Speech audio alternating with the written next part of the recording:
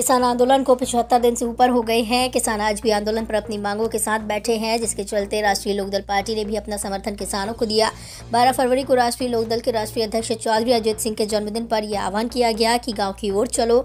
गाँव शोरूम में पंचायत के दौरान पूर्व मंत्री धर्मवीर बालियान ने बताया कि राष्ट्रीय अध्यक्ष अजीत चौधरी के निर्देश अनुसार हम गाँव गाँव जाकर किसानों को बता रहे हैं कि किसानों के साथ जो अत्याचार हो रहा है, हम देश के किसानों के साथ हैं। उन्होंने बताया कि जयंत चौधरी भी किसान महापंचायत कर रहे हैं।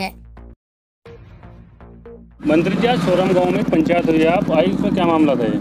ये मामला था हमारा राष्ट्रीय लोक दल के 12 तारीख को जन्मदिन था और जन्मदिन से 12 से 18 तक ये आह्वान किया गया कि गाँव की ओर चलो हम गाँव की ओर चले पूरी पार्टी का पूरे प्रदेश के अंदर हम गाँव की ओर चले हमारा ये प्रोग्राम है। गाँव में जाकर गाँव में जाकर हम किसानों को ये बताते हैं, आज किसान के साथ में जो अत्याचार हो रहा है, हम उनके साथ खड़े हैं। और जैन चौधरी भी जगह जगह बड़ी बड़ी मीटिंगें करके, जी, पंचायत करके, वो किसान की लड़ाई के लिए आगे सबसे तटबंध है।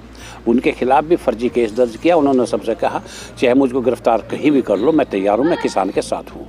तो आज किसान की आवाज़ के लिए हम गाँव दर गाँव जागरण करने के लिए इसी बात को कि किसान आपके साथ खड़ा, किसानों के साथ में लोक दल आपके साथ खड़ा और उसकी लड़ाई के लिए हम बीच में सब आपके हमारा प्रोग्राम बारह तारीख से चल रहा है। भाई योगराज भी, मैं भी, हमारे और साथी भी, सब गाँव दर गाँव पूरे संगठन ज़िले का लग रहा। तब उस बीच के, उसी घड़ी में आज हम यहाँ आए। इससे दो दिन पहले मैं सिसोली में गया था, वहाँ पर सब कुछ जोड़ा था यूनियन का और अभी भी पूरे हफ़्ते तक हमारा ये प्रोग्राम चलेगा।